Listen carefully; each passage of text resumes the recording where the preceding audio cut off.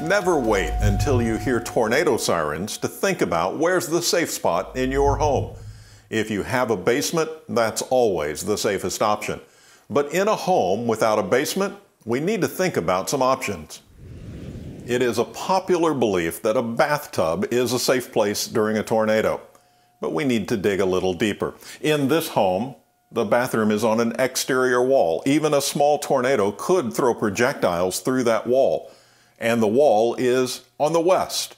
Most tornadoes come from the west, making this one of the most unsafe rooms in this house.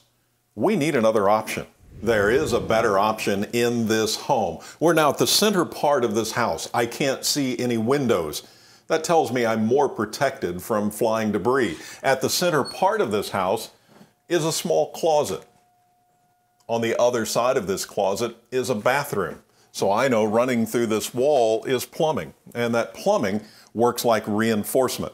It's also three walls in a very small space, making it more structurally sound. This becomes the safest place in this home during a tornado. Might seem a little silly to you, but in that safe spot, if you can store a helmet, it will come in handy. Most deaths from tornadoes are because of massive head trauma slipping on a helmet. Doesn't have to be a motorcycle helmet, a batting helmet, or a bicycle helmet could save your life. Staying safe in a home with an open floor plan can be a challenge. A News 3 WSIL drone view shows there is no well-defined safe place in this type of home on the ground floor. If no basement is available, an in-ground storm shelter should be considered. Without these options, hard decisions and last resorts may be needed to save lives.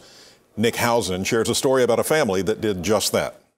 I've seen the destruction that tornadoes can cause firsthand. They destroy homes and can destroy lives. But there's always stories of strength, community, and survival. This is how quick thinking likely saved one family's life. I kept grabbing hold of the limbs until I got underneath it, and just as we got underneath it, the total you could see the wind and hear the stuff above us. The decision to leave this mobile home on the afternoon of November 17, 2013, is one that likely saved the Lewis family's life. Carolyn was in this home with her daughter and grandbaby when a strong tornado crossed the Ohio River and hit Brookport just to the west. We're fixing to go out the door when my sister called and said that uh, it had hit Brookport. Some quick thinking and a plan in case of a tornado led them to this bridge around 50 yards down the street. The wind hit and knocked me and the baby to the ground, and I couldn't get up. Well, my daughter come up behind me and grabbed me and the baby, and her and the baby went in the creek. The tornado roared down Unionville Road, passing overhead, snapping trees like toothpicks, ripping mobile homes off their foundation, and sending sheet metal and insulation high into the neighboring woods. The only thing between Lewis and the tornado's debris flying at more than 100 miles per hour was this bridge. I've lived here my whole life and we knew it was there, and that was our basic plan. That afternoon, the tornado cut a 42 mile path along the Ohio River in southern Illinois and western Kentucky with winds up to 145 miles per hour, killing three people.